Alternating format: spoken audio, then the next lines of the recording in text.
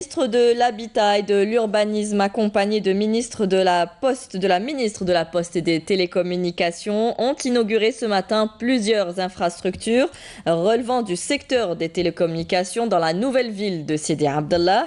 Les deux parties ont procédé par la suite à la signature de conventions entre les institutions relevant des deux secteurs, l'habitat et les télécommunications.